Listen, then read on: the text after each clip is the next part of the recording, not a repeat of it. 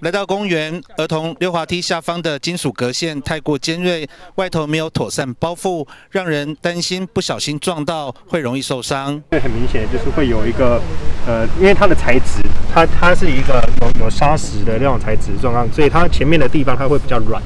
软的时候呢，如果一旦陷下去的状况，就可能就会导致跌倒。令人担忧的还有这个公园中央重要的历史建物大沙湾实为遗构，也没有完整解说和保护措施。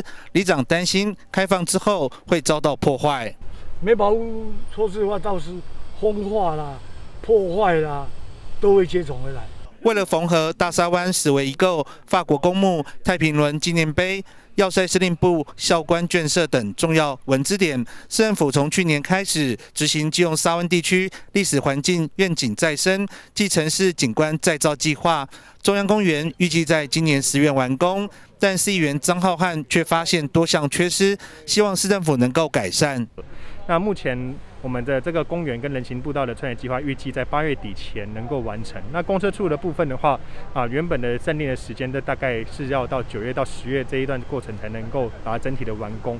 那所以为了配合整体的公共安全，我们也要求啊市府的一个各单位，那做好呃所谓的安全上的一个措施，那避免人人流来了之后，那进出工地，然后造成啊安公安上的一个问题。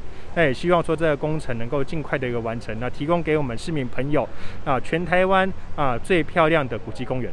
经过会勘，文化局表示已经规划考古遗址增设解说牌，并增加禁止跨越的告示牌。至于公园溜滑梯金属隔线和照明部分，杜发处表示将会一并改善。记者黄少明、金融报道。